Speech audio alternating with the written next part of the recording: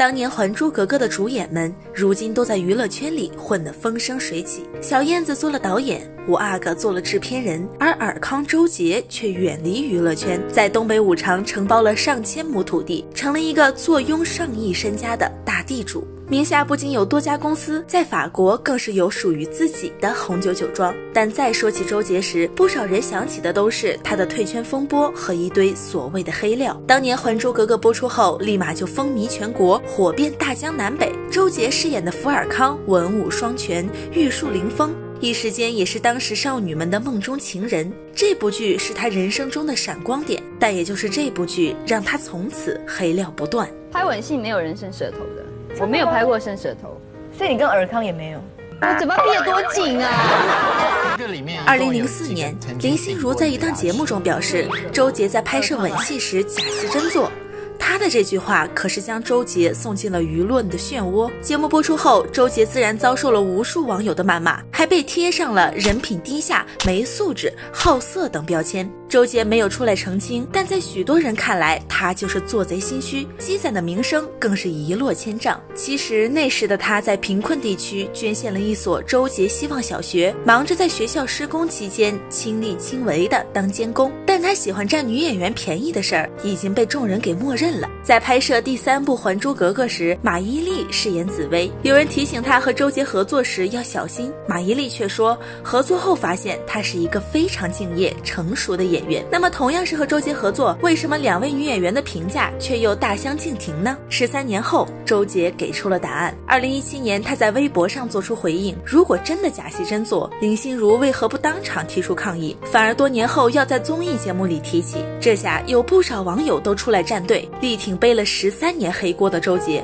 我的委屈大极了，比他大。一百倍，一时间舆论纷纷指向林心如，但就算此事闹得沸沸扬扬，他也未能得到林心如的一个正面道歉。在拍摄《少年包青天》时，有人指出周杰在拍戏时很爱耍大牌，说陈道明演技不好，还当着全剧组的面批评他，一点情面都不留，更是故意晾着李冰冰，让他泡在水里等着他上厕所。周杰在节目中回应的很无奈：“如果有我跟李冰冰在水里的戏，这事儿多好办啊！”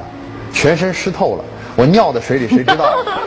至于说陈道明演技不好，他直言，如果知道他和陈道明的关系，那些媒体也就不敢这么写了，因为他是陈道明的徒弟。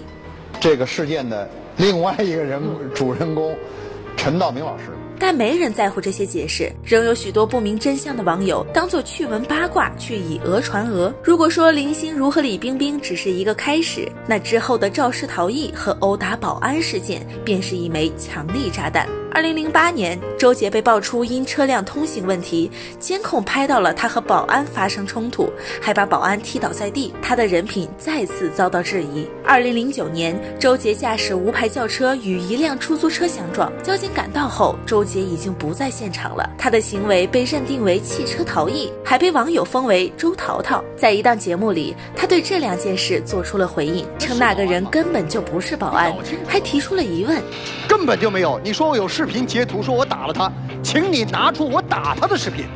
既然你有视频，为什么不放视频而放一个截图？请问，对于逃逸这件事，他当时不仅选择了报警，还在原地等待了二十三分钟后才离开现场。但和前几次一样，他的解释并没有多少人在乎。接二连三的黑料让周杰选择淡出娱乐圈。都说隔行如隔山，但周杰从一个演员转行到农夫，把种植水稻的事业做得风生水起。就在疫情期间，他还捐出自己种植的两万斤大米。对于这波非常硬核又接地气的捐赠行为，有不少人质疑。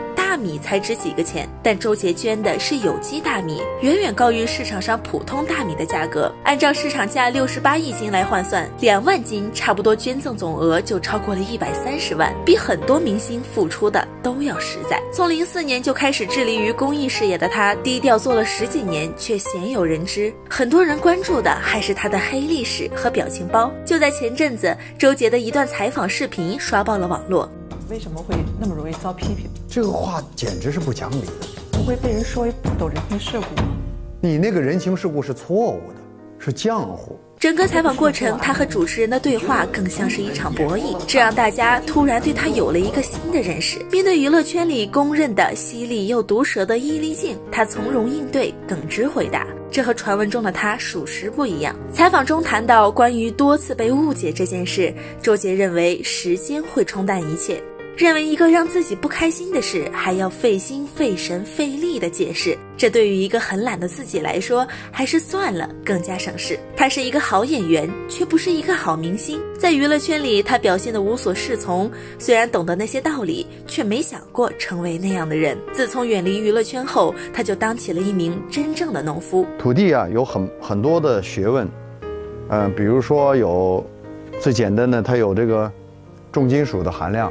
要测。对于周杰来说，可能这样的田园生活就是他想要的吧。每天在社交软件上分享自己的生活，收藏一些喜欢的画作，更是晒出了自己的豪宅，设计宛如一个太极八卦阵。这简直是加强版的向往的生活啊！相对于别的因为被抹黑而消失在娱乐圈的明星来说，他现在的生活可算是人生赢家了。淡出娱乐圈的周杰脱下了演员的外衣，将一个朴实无华的自己展现在公众面前。不得不说，这样的他更让人喜欢。人家说洗白，我说这“洗白”这词儿很可笑。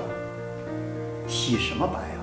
你把我的衣服泼脏了，我把衣服一脱就是白的。你真的能把我弄黑吗？好了，以上就是我们本期节目的全部内容，让我们下期再见，拜拜。